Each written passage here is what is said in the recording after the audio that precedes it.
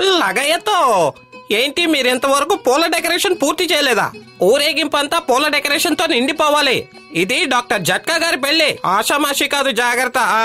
ఇంటిని పెళ్ళి కూతుర్ని అలంకరించినట్టు అలంకరించండి.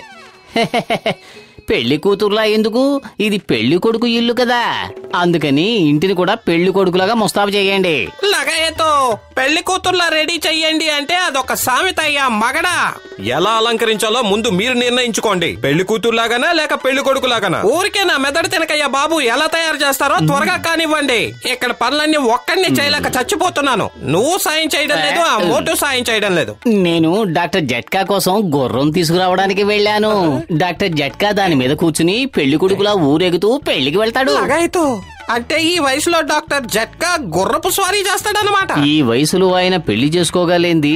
గుర్రం పైకి ఎక్కితే తప్పేంటట? నువ్వు వెళ్ళి ఏర్పాట్లన్నీ అయ్యాయో లేదో చూడు. నేను వెళ్ళి డాక్టర్ జట్కా ముస్తాబ్ అయ్యారో లేదో చూసొస్తాను. అరే పత్రు ఇప్పుడు నేను ఎలా ఉన్నాను?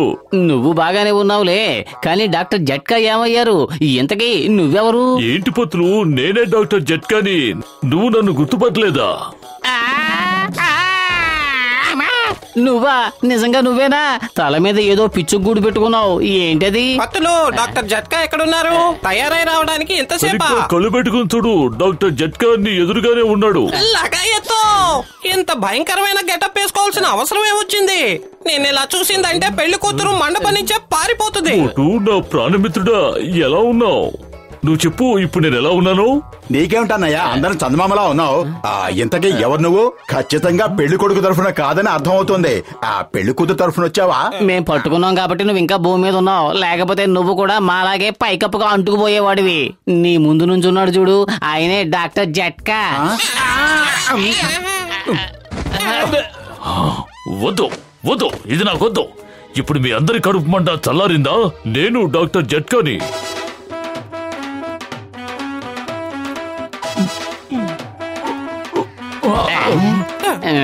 నా రోగుల మీద ఒట్టేసి చెప్తున్నాను. ఈ గుర్రం చాలా ఎత్తుగా ఉంది. నేను దీని మీద ఎక్కి కూర్చోలేకపోతే పెళ్ళి ఊరేగింపు ఎలా బయలుదేరుతుంది? ఊరేగింపు బయలుదేరకపోతే ఇక నా పెళ్ళి ఎలా జరుగుతుంది చెప్పండి? త్వరగా కానివ్వండి. పెళ్ళి ముహూర్తం దాటిపోయేలా ఉంది.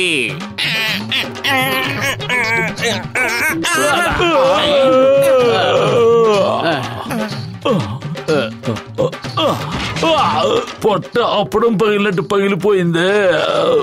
నా నడుం కూడా విరిగిపోయినట్టుంది. మోటు ఏదో ఒకటి చెయ్యి. ఇలా అయితే డాక్టర్ జట్కాని కళ్యాణ మండపానికి కాదు అందరం కలిసి హాస్పిటల్కి మోసుకెళ్ళాల్సి వస్తుంది. నన్ను ఏం చేయమంటావు? కడుపు ఖాళీగా ఉంటే నా బుర్ర ఏమాత్రం పనిచేయదు. నువ్వే ఏదో ఒక ఐడియా వేయి. ఐడియా సర్జీ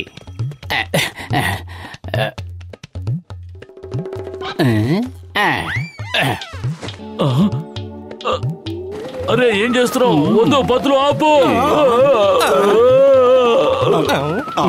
పత్రు నీకు దండం పెడతాను దయచేసి ఆపు. ఒక్క నిమిషం. ఇది ఆగట్లేదు. దీన్ని ఎలా కంట్రోల్ చేయాలి? ఏదో ఒకటి నొక్కేస్తే పోయా.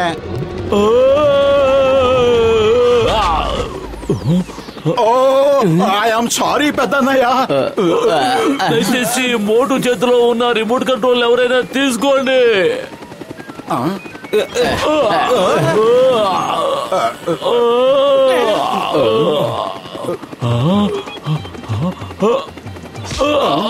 మీరు నా పెళ్ళి జరిపించడానికి తీసుకెళ్తున్నారా? లేకపోతే పైకి పంపిస్తున్నారా? మోటు నీకు దండం పెడతాను. నేను వెళ్తున్నది గుర్ర పందాలకి కాదు. జరక్క జరక్క పెళ్ళి జరుగుతోంది. నన్ను వదిలేయి.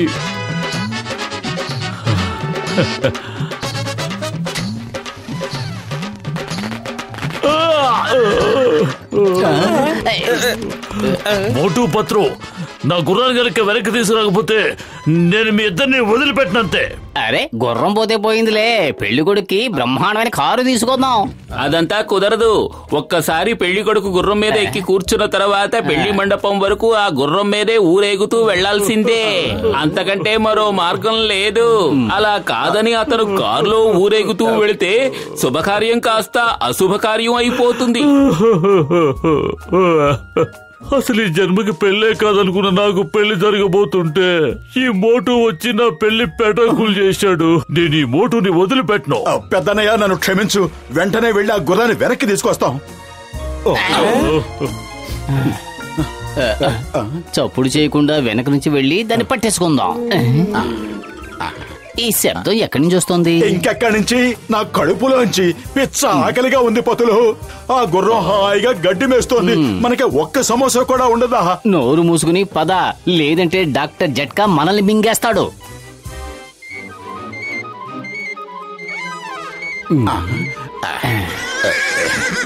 ఇప్పుడు గుర్రం నవ్వినట్టు వినిపించింది కదా.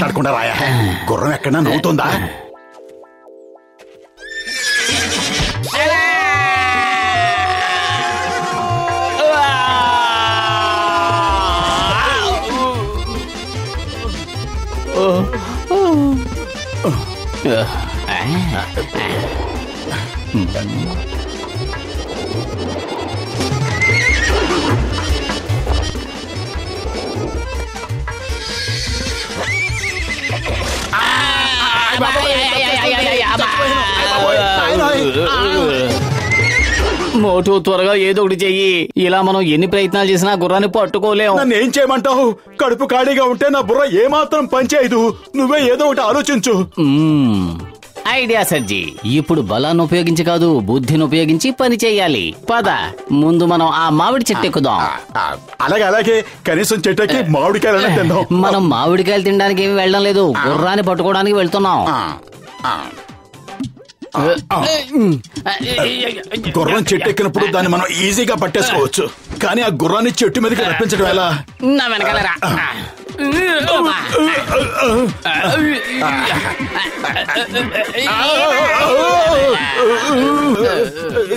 కాపాడండి!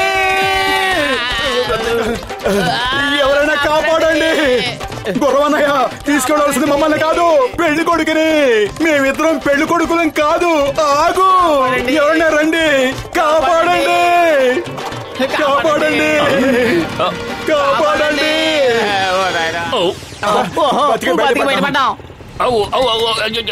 అయ్యమ్మా ఆగు ఆగు ఆగు. Stop in the name of law ఆగు.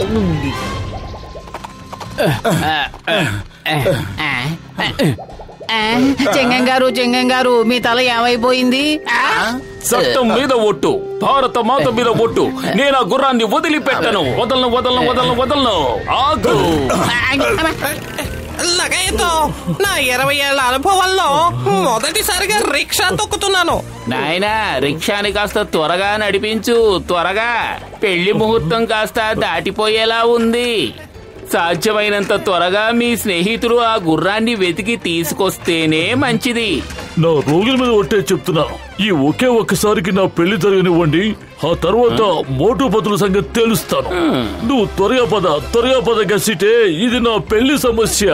లగైతో మోటో నువ్వు మమ్మల్ని అందరినీ ఇరికించేసావు కదా. సంబడి కాపాడండి. ఏ గుర్రం ఆగు. అన్నయ్య గుర్రమన్నయ్య కాస్త ఆగు.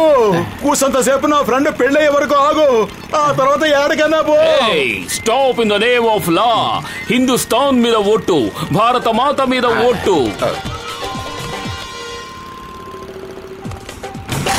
అయ్యమ్మా.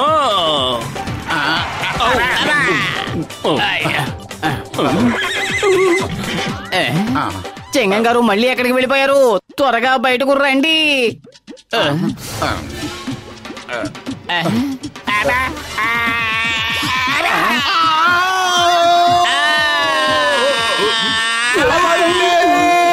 అరే మీరు ఎక్కడి నుంచి వచ్చారే బాబు?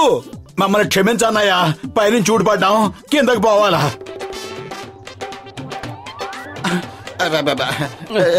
కింద కాదు పైకి పోవాలా అరే ఆపండియ్యా ఎవరైనా ఆపండి కాపాడండి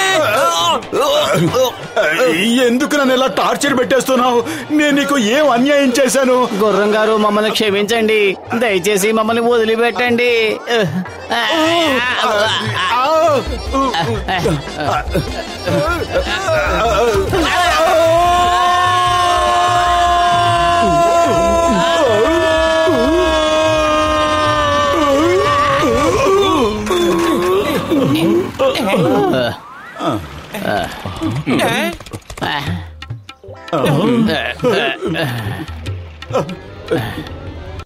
సమోసా.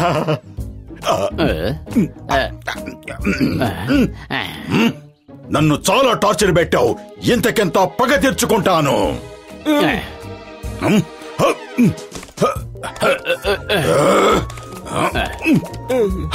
శబాష్ మోటు ఎలాగైనా సరే దాన్ని లొంగ తీసుకో. గుర్రం గాడిదైనా సరే నా పెళ్ళి జరగాలంతే. మోటు వెరీ గుడ్ నువ్వు అక్కడివే దాన్ని కంట్రోల్ చెయ్యగలవు.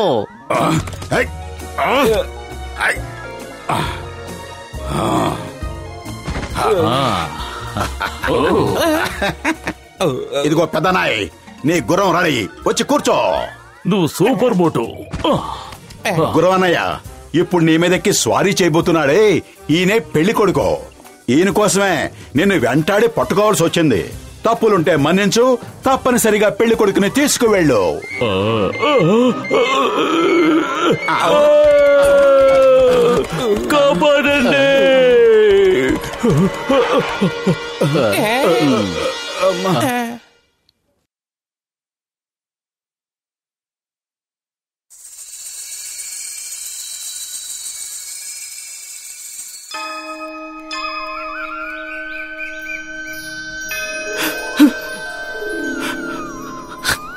నన్ను ఇలా చూసి నీ కళ్ళు చల్లబడ్డాయి కదా ఆ? మోటు అనబడే నేను బాబాయ్ టీ కొట్టినే దేవాలయంగా భావిస్తూ ఉంటాను. ఎప్పుడూ లేని ఈవేళ నీ ముంగిట్లో నిలబడ్డాను. ఎందుకో తెలుసా? తెలుసా? నేను ఏ పని చేపట్టినా ఎందుకు మట్టిలా మారుతోంది? ఎప్పుడు చూసినా జేబులో చిల్లిగా ఉండదు. అది పైసమా జేబైనా సరే లాచీ జేబైనా సరే. ఓ మంచి దేవుడా ఎందుకలా ఆడుకుంటున్నావు? నాలో ఉన్న లోపం ఏమిటో నువ్వే చెప్పు.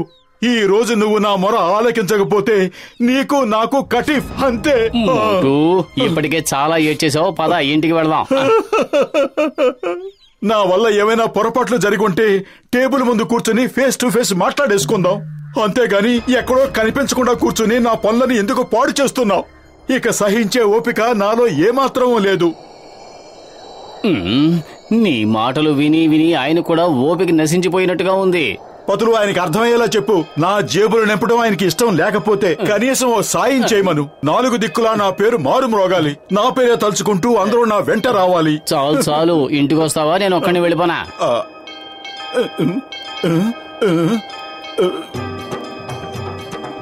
Okay okay. వెళ్ళిపోతాను వెళ్ళిపోతాను. అరే నా చెప్పులు ఏమైపోయాయి? ఆ, బాబు ఇదిగో నిన్నే నా చెప్పులు ఏమైపోయాయి? ఏమో నాకేం తెలుసు.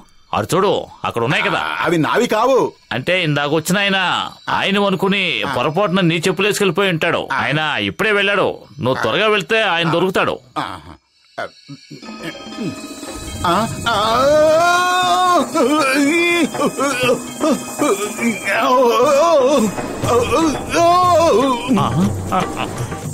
ఉన్నట్టుండి నా కాళ్ళకి ఏమైపోయింది వాటంతటవే ఉన్నట్టుండి డాన్సులు కట్టేస్తున్నాయి అరే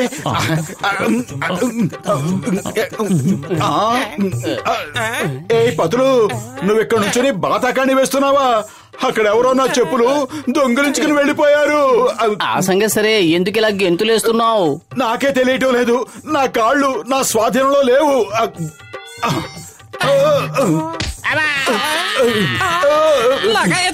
గచ్చటరాం వెళ్ళిపో. త్వరగా ఇక్కడి నుంచి పారిపో. లేదంటే నా కాలు నిన్ను కూడా కిక్ చేస్తుంది. చాలిక చాలా ఆపు. ఎందుకు నన్ను ఫుట్బాల్లో తంతున్నావు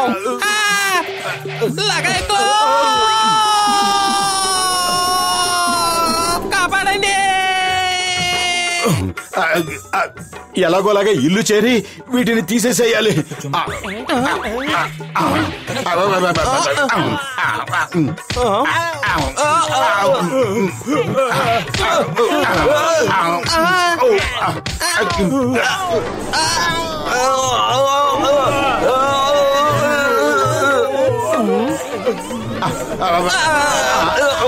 కొట్టండి. ఈ జాన్ అవుతాడు డాన్ ఈ జాన్ అవుతాడు డాన్. కాపాడు. ఏంటి మోటు ఇవాళ చాలా సంతోషంగా ఉన్నట్టున్నావు? డాన్సింగులు కట్టేసి తెగాడేస్తున్నావు? అద్భుతం బాస్ అద్భుతం. భలే కవిత చెప్పారు. ఈ కవితల గొడవలు గంగలో కలిపి ఆ బోటు ఎందుకు వచ్చాడో వెంటనే అడుగు.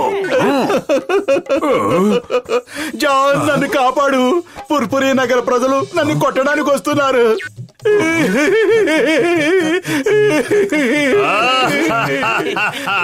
వాతావరణం చాలా చండాలంగా ఉందండి అందుకే ఇవాళ మోటు మన అతిథి అయ్యాడు బ్రదర్ జాన్ పెద్దన్నయ్య మీ కవితలు తర్వాత వింటాను గాని ముందు నన్ను ఎక్కడ నాతో ఆచేయి త్వరగా త్వరగా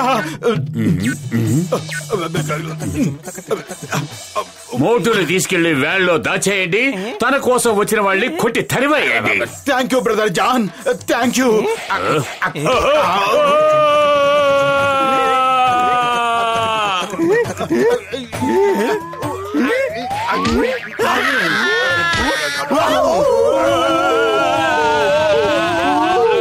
ఏంటి?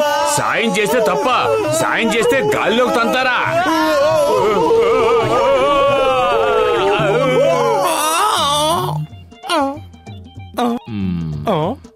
నేను ఇది అసలు నమ్మలేకపోతున్నాను మిత్రులారా.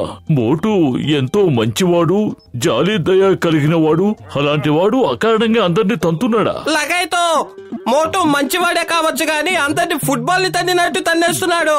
ఇలా డాన్సులు చేస్తూ మనుషుల్ని తన్నాడంటే సిక్సర్ బాల్ ఎగిరినట్టు ఎగిరి పడుతున్నారు పెద్దన్నయ్య నాకు దూరంగా ఉండు. నా దగ్గరికి రావద్దు. ఈ బూట్లు తొడుక్కున్నప్పటి నుంచి నేను రెండే పనులు చేస్తున్నాను. విచ్చలవిడిగా డాన్స్ కట్టేస్తున్నాను. లేదా తన్నేస్తున్నాను. అలాంటప్పుడు ఆ బూట్లు తీసి పారేయచ్చు కదా. నీకు అర్థం కావటం లేదు ఇవి కాళ్ళకి అతుక్కుపోయాయి రావటం లేదు. దయచేసి నాకు సహాయం చేయి. ఈ బూట్లు ఎలాగైనా విప్పేయి. డాక్టర్ జట్కా పొరపాటును కూడా దగ్గరకు వెళ్ళకండి. మీరు అలా దగ్గరకు వెళ్ళి వెళ్ళగానే మోటు కిక్ చేస్తాడు. నువ్వు అనవసరంగా కంగారు పడుకు పత్రులు నా ఏర్పాట్లో నేను వెళ్తాను కదా. అరే మోటు నా ప్రాణమిత్రుడా నీ బూట్లని నేను విప్పేస్తాను. ఆ, కృతజ్ఞతలు పెద్దన్నయ్య కృతజ్ఞతలు.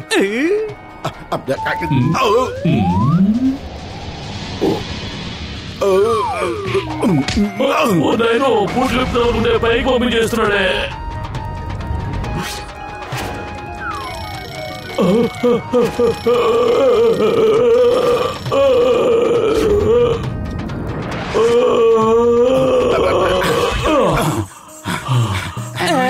నా రోగుల మీద ఉంటే చెప్తున్నాను.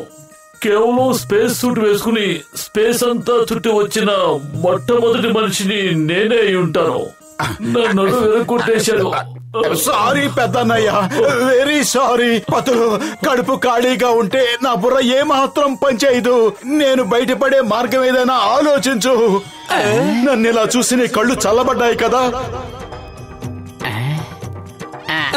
ఐడియా సర్జీ పెట్టుకోక పెట్టుకోక పొద్దున్నే దేవుడితో పెట్టుకున్నావు కదా. వెళ్ళు. ఆయన దగ్గరికి వెళ్ళి క్షమాపణ అడుగు. నీకు సరైన గుణపాఠం చెప్పడానికే ఆయన ఈ బూటను పంపించి ఉంటాడు. థ్యాంక్ యూ పతులు. నువ్వే నా నిజమైన మిత్రుడివి.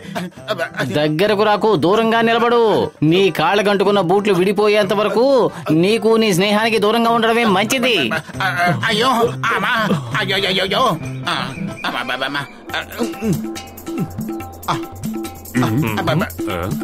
ఏ మోటు ఆగు. ఆగమంటుంటే ఆగు. పట్టుకోండి.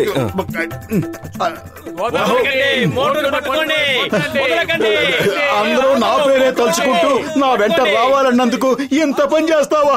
నేను ఆ ఉద్దేశంతో కోరుకోలేదు. రావద్దు. వెనక్కి వెళ్ళిపోండి. వెళ్ళిపోండి.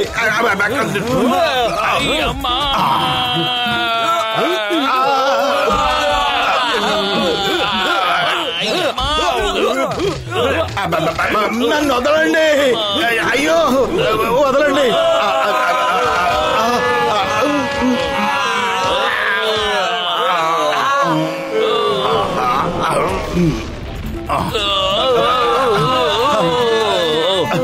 వాణ్ణి వదలకూడదు పట్టుకోండి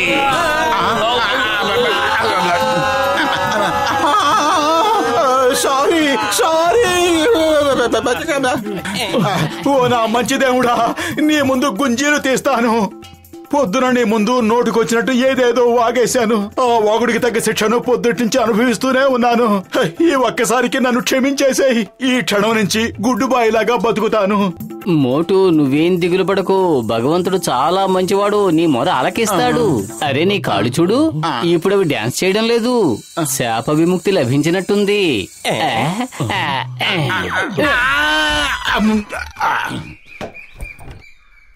సూపర్ సూపర్! పొదలు ఈ గండం నుంచి నువ్వే నన్ను కాపాడావు. ఆ భగవంతుడు నిన్ను క్షమించాడేమో గాని ఈ మనుషులు మాత్రం నిన్ను క్షమించేలా లేరు. ప్రాణాలు కాపాడుకోవాలంటే వెంటనే ఇక్కడి నుంచి పారిపో మోటు. అందరూ కట్టకట్టుకుని దాడి చేయడానికి వస్తున్నారు. పారిపో. వాళ్ళు ఇప్పుడు నువ్వేం చెప్పినా వినే పరిస్థితుల్లో లేరు. పారిపో రండి, రండి, త్వరగా రండి. మూటను పట్టుకోవాలి, రండి. ఆ, వదలకూడదు, రండి. ఓ నా మంచి దేవుడా ఇంతకాలానికి నువ్వు ఒక మంచి పని చేశావు. చేసిన పాపాలకి మోటు పొతులకి మంచి శిక్ష వేశావు. అద్భుతం బాస్ అద్భుతం. భలే కవిత చెప్పారు. కదా నెంబర్ టూ ఏయ్ ఆ బూట్లు లాకివ్వు. నేను తొడుక్కుంటాను. ఎంత బాగున్నాయో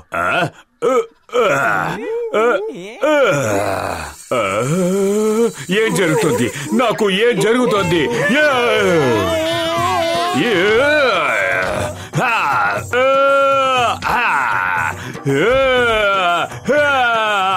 ఎవరైనా కాపాడండి!